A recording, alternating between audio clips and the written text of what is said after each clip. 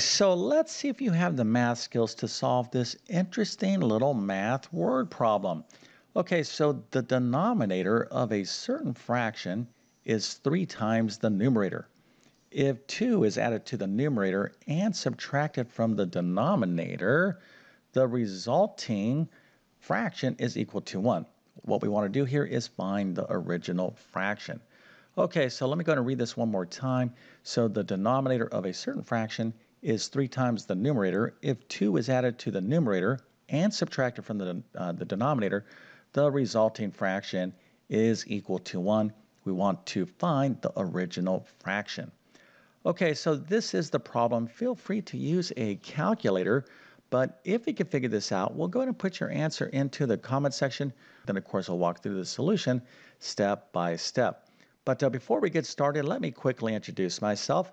My name is John, and I have been teaching middle and high school math for decades. And if you need help learning math, well, check out my math help program at tcmathacademy.com. You can find a link to that in the description below. And if this video helps you out, or if you just enjoy this content, make sure to like and subscribe, as that definitely helps me out. Okay, so hopefully you understand the problem. Of course, we'll look at it again as we get into the solution. But remember, what we're trying to do here is find the original fraction.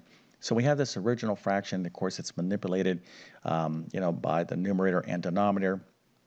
And after manipulating that fraction, the result is we have a fraction that's equal to 1. So we want to find the original fraction.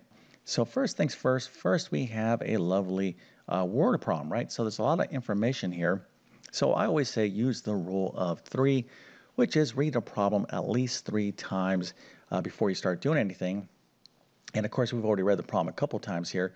But when you're reading the problem, if there's some aspect of the problem that you don't understand, well, you're going to have to figure out or you're going to have to clear up any confusion because you can't answer a question that you don't understand. So never attempt to, you know, try to solve something that you don't get. Raise your hand, you know, if you're a student, you know, ask your teacher or go look up, you know, a particular word or phrase or whatever the case might be. But in this particular problem, we need to understand the denominator and numerator. And of course, this has something to do with fractions. So let's just quickly review this. And then, of course, we'll talk about a strategy to solve this problem. Okay, so when it comes to a fraction, matter of fact, let me just write a fraction here like 2 thirds. So a fraction is constructed of two numbers, right? We have a top number, that's called the numerator, and then we have a, the bottom number of the fraction, that's called the denominator. Okay, so pretty straightforward. And what we're trying to do here is find the original fraction, right? So uh, what does this mean? Well, there was a fraction, okay? We don't know what this is, but when we took this original fraction, this certain fraction, uh, and of course this uh, the original fraction is what? Well, we have some information about this original fraction, and that is what?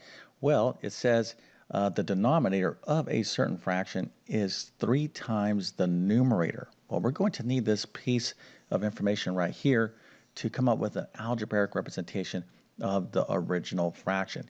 So let's just focus in on this part of the problem before we even look at the rest of the, of the problem right here. So what kind of algebra expression or variable expression uh, could you um, construct that represents a fraction where the denominator um, is three times the numerator? All right, so let's use the variable x. So the denominator is three times the numerator. Maybe if we let x equal the uh, numerator, the denominator could be 3x, which is 3 times the numerator of x. And that's exactly what you want to do. Okay, so what we're going uh, actually, let me just show you right here. What we're going to do is uh, kind of like specify this precisely. So when you're solving a math word problem or an algebra word problem, you need to define or uh, specify what your variables stand for. So we're going to let x equal the numerator so 3x will be our denominator, and this expression right here is our original fraction, right? So here we have a denominator that is 3 times the numerator, and that's what this problem uh, states. But you can see we have this variable x and 3x. Uh, we need to solve for x because once we um, know what x is equal to, we can build the fraction, right? x is going to be the numerator and 3x will be the denominator, and we can find the original fraction. So how can we solve or how can we how can we figure out what this variable x is equal to? Well, we're going to have to go back to all the additional information in the problem, which of course is if 2 is added to the numerator, etc., etc., etc., to do what? Well, when you have a variable in algebra, what we're trying to do is build an equation, right? So we want to build an equation, uh, something with an equal sign, and it, uh, uh, of course, this equation must involve this expression right here. Okay, so if we could build an equation uh, where x is involved, then we can solve for x, and then we can answer the question. All right, now if you want to go ahead and try to build an equation, uh, given that the fraction that we're looking for is x uh, over 3x, maybe if you didn't try this problem, maybe this is a good time for you to pause the video and see if you can build an equation. And I'm going to give you a hint here. You want to use all this information uh, right here uh, to build this equation. But let's go ahead and take a look at that right now. Okay, so we're going to scroll down here and we're going to again uh, use this part, the additional part of the problem to construct this equation. And you know, we're dealing, uh, we're using algebra to solve this problem and solving algebra word problems. The, the process is pretty um, standard, okay?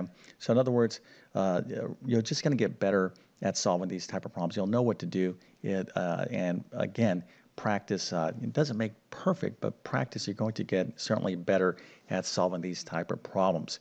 All right, so uh, if 2 is added to the numerator and subtracted from the denominator, the resulting fraction is equal to 1. So what does this mean? Well, we have our original fraction, right? So 2 is going to be added to the numerator, and then it's going to be subtracted from the denominator. This resulting fraction is going to be equal to 1, right? So let's just double check to make sure that's what the problem uh, stated. If 2 is added to the numerator and subtracted from the denominator, the resulting fraction is equal to 1. Okay, so we have this original fraction right here. And let me kind of erase this so we can kind of double check our work, and this is always a good idea. All right, so we have an, our original fraction, so 2 is going to be added to the numerator and subtracted from the denominator. So now we have a new fraction, and that fraction is equivalent to 1. Okay, so at this point, we have a nice algebraic equation. So if we can solve this equation for x, then we can answer the question, right? Because uh, x right here, we can just plug in that value and we'll get the original fraction. Okay, so if you understand this, well, maybe you want to pause the video and see if you can solve this equation. But let's go and take the next step, which of course is having you quickly subscribe to my YouTube channel. Don't you like how I sneak this in? But uh, listen, I definitely need your help. Now, my um, goal is to grow my channel as big as I can so I can reach as many people. And, uh, you know, I'm a math teacher. I'm trying to reach as many uh, students as I possibly can. The more students I have, the better. Uh, but if you're getting some sort of value out of this, all right, Mr. YouTube Math Man, uh, yeah, thanks for your help. All right, you know what? It's so easy for you just to hit that subscribe button. It's the best way to show support for not only what I do, but you're actually going to be helping other people as well. Because when you do this, uh, YouTube kind of pushes my content out more and more and more. And who knows, maybe there's a, a person, here's the world, maybe you're right here, and maybe there's a person way on the other side of the world that doesn't understand the same problem. So when you hit that subscribe button, YouTube really does help me connect with this person as well. Okay, so let's go back and uh, review what we need to do. So we have this original uh, fraction, right, x over 3x, and of course we're going to add 2 to it and subtract, uh, add 2 to the numerator, subtract 2 from the denominator. The resulting fraction is equal to 1. So now we just have to solve this equation for x. And then once we have our answer, we simply could just plug that in right there and right there. And then, of course, we'll have our final answer. All right, so let's focus on solving this equation. This is not that difficult. By the way, one last quick comment. If you need help with any of the algebra here, uh, check out my full main math courses. You'll find uh, links to them uh, in the description of this video. So if you're at the pre-algebra level, algebra 1, algebra 2, whatever the case is, uh, and if you're not a student and you want to learn algebra from me, check out my Math Skills Rebuilder course. Okay, so let's go ahead and get into how to solve this equation. All right, so we have x plus 2 over 3x minus 2 is equal to 1. Uh, technically, in algebra, this is referred to as a rational equation, but that's not important uh, to really know the name, uh, it's a good idea to know the name, and it is. Well, eventually it's going to be important. But this type of equation you could solve in a couple different ways. I want to suggest you want to use a proportion, okay, or think of this as a proportion. See, when you have two equal fractions, let's say 1 half is equal to, oh, let's say maybe 5 over 10. So this fraction is equal to this fraction. So here we have a fraction, but if we can think of 1 as a fraction, then we can think of this thing as a proportion. Now, why is that uh, going to help us out? Well, when you have a proportion, there's something called the cross product. We cross multiply, the result is equal. So uh, 2 times 5 is what? 10. And that's equal to 1 times 10, which of course is 10. So what we can do here is think of this one as a fraction. And you can always construct a fraction when you see a number. Let's say you see the number 7. Just put it over 1. And now you have your numerator and denominator. So let's go ahead and put this thing over 1. And then we can use the cross product to solve for x.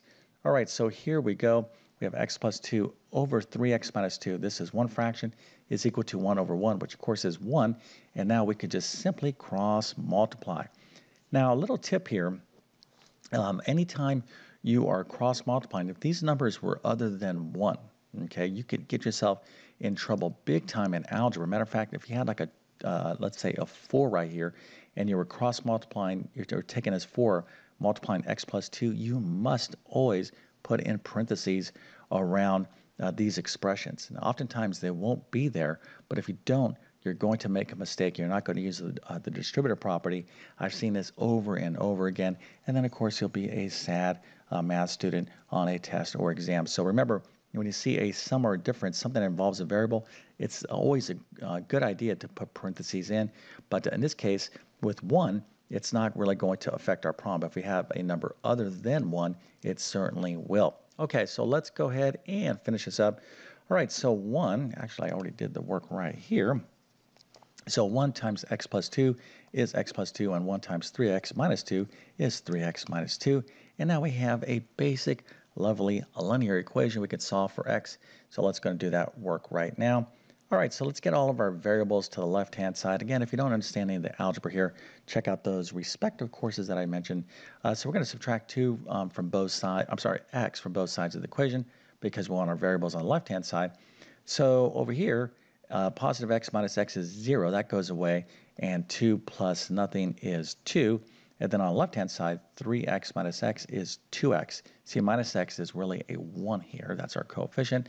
So we have 2x and negative 2 plus nothing is negative 2. All right, so now uh, we have 2x minus 2 is equal to 2. So in algebra, you want to get your variables on the left and your numbers on the right. That's a pretty standard format to solving linear equations. So at this point, let's go ahead and add 2 to both sides of the equation so we can get our numbers on the right-hand side. And so we're going to add down, and you want to show your work just as I'm doing right here. So 2x plus nothing is 2x, Negative 2 plus 2 is 0, and 2 plus 2 is 4. So we have 2x is equal to 4. So to solve for x, all we have to do is divide both sides of the equation by 2. 4 divided by 2 is 2. Okay, so x is equal to 2. And what you don't want to do is be like, I am so smart. Look at me. I'm ready for my A plus, and you turn an answer of x equals 2 because uh, you're not going to, uh, you know, you might get like a B minus or something, and you'll, you know, you're going to get angry. You're going to be like, what are you talking about? I did this problem right. Well, you didn't answer the question. And oftentimes, uh, students or people, they get immersed in the problem. They're focused on one aspect of it. Before you finish a problem, you have to always ask yourself, it seems like common sense. It seems obvious, but we, uh, you know, all of us forget, including myself, did we answer the question? And the question is, what is the original fraction? So here we just solved the equation for x is equal to 2, but we are not done yet because we have to answer the question, what's the original fraction?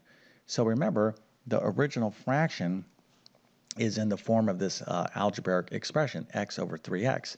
So we need to replace this x with a 2. Okay, so this x, we're going to put a 2 here, and then we're going to put a 2. We're going to replace that x with a 2 right there and figure out the original fraction. All right, so x is 2 over 3 times 2. So this is going to be 2 over 3 times 2, of course, is 6. So the original fraction is 2 over 6. All right, so uh, at this point, we are done. And uh, you know, you might be kind of thinking, boy, you know, he this guy is so dramatic when it comes to, you know, highlighting these errors, you know, like this right here.